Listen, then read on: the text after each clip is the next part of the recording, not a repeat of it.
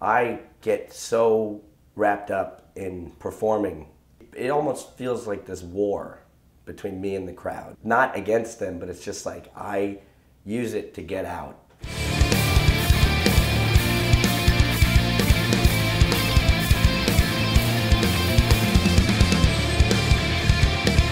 just felt like it was uh, the right thing to do to just to have like the the band back for the DVD.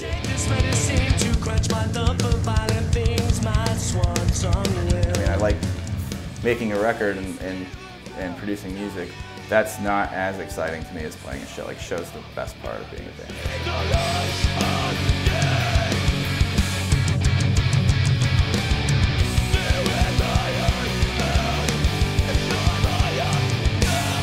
I wouldn't, I wouldn't say that we overthink things now, but there was definitely like this wide-eyed kind of like whatever attitude that we that we used to really have. I think we still do to a degree, but you know, we just kind of know what we want to do more so nowadays.